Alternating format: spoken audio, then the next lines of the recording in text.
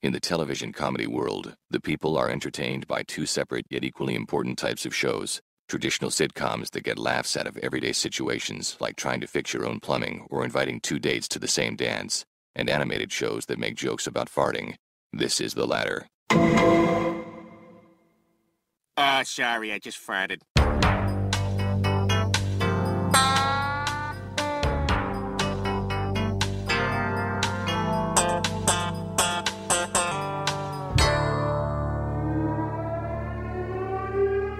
ぎゅぎゅぎゅぎゅ